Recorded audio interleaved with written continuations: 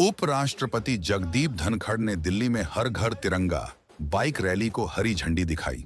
इस कार्यक्रम में बड़ी संख्या में लोग अपनी बाइक पर तिरंगा लेकर शामिल हुए हैं।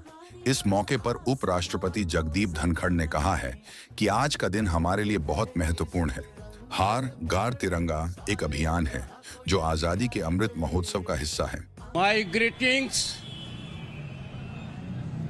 to fellow countrymen on the coming 78th Independence Day. This day will be ever remembered as a significant milestone in the journey of Bharat for Viksit Bharat at 2047. Honorable Minister of Culture and Minister of Tourism, Sri Gajendra Singh Shekhawat ji. We heard from Sri Shekhawat ji his thoughts very relevant. तिरंगा का क्या महत्व है Shri Kiren Rijiju ji minister of parliamentary affairs and minister of minority affairs Dr. Mansukh Mandaviaji, Minister of Labour, Employment, and more important, Minister of Youth Affairs and Sports, Sri Kinjalapu Ramon Naidu, bubbling with energy, full of energy, Minister for Civil Aviation, distinguished guests, and my young friends. I see media today full of energy, full of vibrancy. They reflect mood of the nation, the spirit at the moment. आज का दिन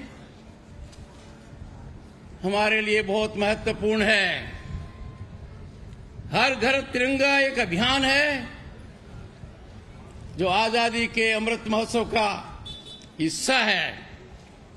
2021 में लोगों को तिरंगा घर लाने और भारत की स्वतंत्रता के पिछहत्तरवें वर्ष पूरे होने के अवसर पर इसे फहराने के लिए, प्रोत्साहित करने के लिए शुरू किया गया था। अब एक ही आंदोलन बन गया है। तब से लगातार करोड़ों लोग अपने घरों पर तिरंगा फहराते हैं और मेरे मन में कोई शंका नहीं है कि आने वाले 15 अगस्त पर एक नया रिकॉर्ड बनेगा। हर घर तिरंगा होगा।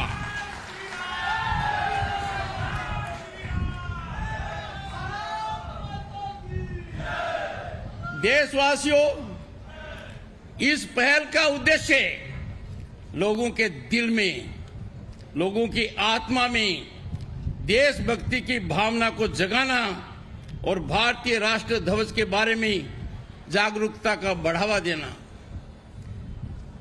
नागरिकों को राष्ट्र भावना से ओत प्रोत करना अत्यंत प्रसन्नता का विषय है कि गत दशक में जो अप्रत्याशित सफलता भारत को मिली है, जिस अप्रत्याशित प्रगति को हमने देखा है, दुनिया की हर संस्था ने जैसे हमारी सराहना की है, आम जन को जो लाभ पहुँचा है उससे राष्ट्र की भावना पूरी तरह ओतप्रोत कर देती है हम सभी को।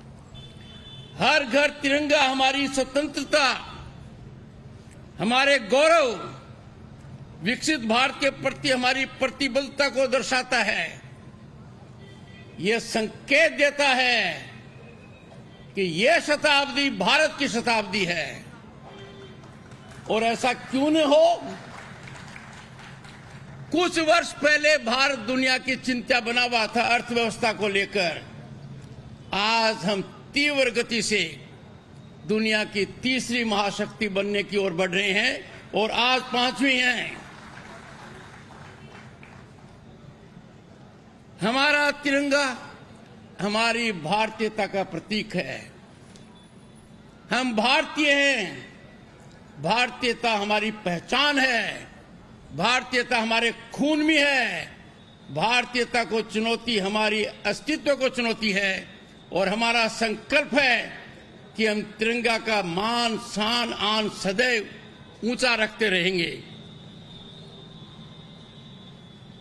तिरंगा हमें एक बात और सिखाता है और तिरंगा संकेत देता है कि कुछ भी हालत हो, कुछ भी परिस्थिति हो, सर्वोपरि देश है।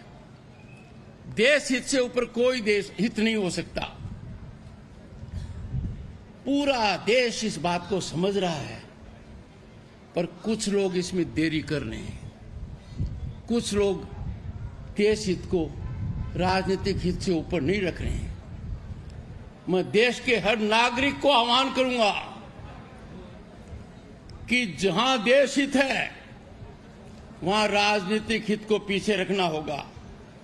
देश हित के मामले में सभी को एकमत होना अनिवार्य है, क्योंकि यही हमारी प्रेरणा का स्रोत है तिरंगा से। मैं आपको वो दिन याद दिलाता हूँ, और उस जगह मैं दो बार गया हूँ। 30 दिसंबर 1943 आज़ाद हिंद के सर्वोच्च कमांडर नेताजी सुभाष चंद्र बोस जिनके नाम पर हमने पराक्रम दिवस शुरू किया है, जिनकी प्रतिमा कर्तव्य पथ को सुशोभित करती है, उन्होंने पहली बार अंडमान निकोबार द्वीप समूह की, तब ब्रिटिश शासन था, धरती पर भारतीय ध्वज फहराकर इतिहास बनाया।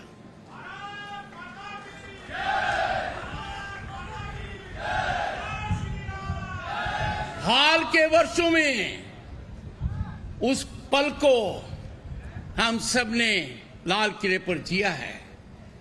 हाल के वर्षों में हमने देखा है कि जिन्होंने देश के लिए खून बहाया, उनको हमने हमारे दिलों में उतारा है।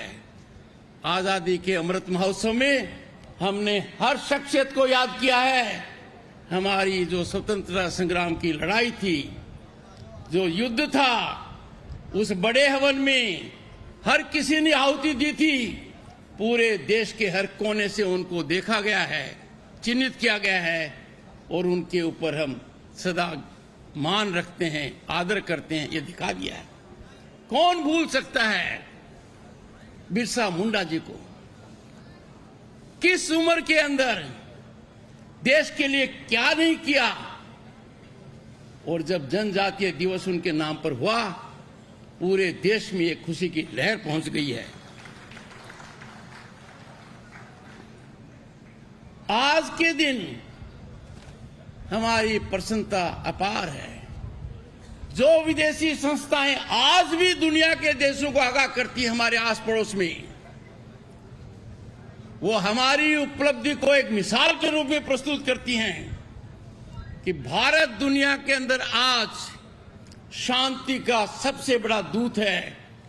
आर्थिक व्यवस्था किस गति से बढ़ रही है, ये भारत से सीखो, दुनिया की संस्थाएँ कह रही हैं। भारत अब संभावनाओं का और संभावनाओं वाला देश नहीं रहा है। We are no longer a nation with a potential और a promise we are a nation today on the rise as never before. Our rise is unstoppable. Our rise will make us a developed nation. By 2047, when we celebrate centenary of our independence, if not before, I appeal to every Bharatiya. You are important stakeholder in this marathon march. And this bike rally, which I am privileged to flag, is one of its part. It will happen all over the country, and this will gain momentum year by year. दोस्तों मित्रों देशवासियों हमारी जो त्वरित गति है विकास की nuclear speed से हम आगे जा रहे हैं कुछ लोग इसको पचा नहीं पा रहे हैं। अवरोध पैदा करना चाहते हैं। अस्थिरता लाना चाहते हैं। वो सोच रहे हैं कि भारत इस गति से बढ़ता रहा तो विश्व गुरु निश्चित ही बनेगा। जो लोग अवरोध पैदा करते हैं, जो लोग कहीं से कुछ भी बात उठ जाए उसको प्रमाणिक मांगते हैं।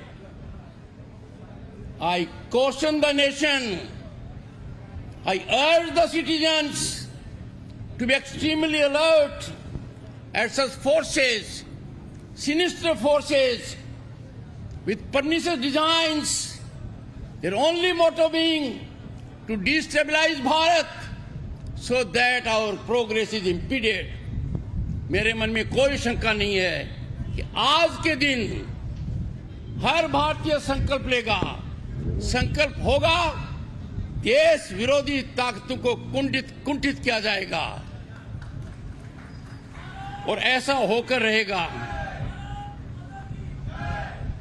हर घर तिरंगा हमें एकजुट होकर भारत के प्रति शत्रुतापूर्ण ताकतों को बेसर करने के लिए प्रेरित करता है। मैं सभी साथी नागरिकों से अपील करता हूँ, हर परिस्थिति में, हर हालत में, व्यक्ति का हो, राजनीति का हो, समाज का हो, देश हित को सर्वोपरि रखना है। हमारे राष्ट्र के दुश्मनों को हराने के लिए एकजुट रहें और जिन्हें हमारे प्रत्याशित उत्थान और अभूतपूर्व विकास को पचाना मुश्किल हो रहा है, उनका मार्गदर्शन करें। उनको हैंड होल्ड करें, उनका ज्ञानवर्धन करें, उनको भारतीय संस्कृति से परिचित कराएँ। हमारी संस्कृति कितनी महान है, हमारे राष्ट्र की पृष्ठभूमि इतनी ज़बरदस्त है कि दुनिया का कोई देश इसका मुकाबला नहीं कर सकता। मैं सिर्फ़ एक तिरंगा मार्च को हरी झंडी नहीं दिखा रहा हूँ। यह हमारे आज़ादी की शताब्दी पर विकसित भारत के लिए मैराथन मार्च का हिस्सा है। इसकी शुरुआत कर रहा हूँ। आप सभी को मैं बहुत बहुत धन्यवाद देता हूँ। आप भारतीयता का संकल्प लेकर हर घर, हर व्यक्ति तक इस बात को पहुंचाएँ और खुद भी आश्वस्त अपने आप को करें, परिजनों को भी करें, समाज को भी करें, साथियों को भी करें, दोस्तों को भी करें।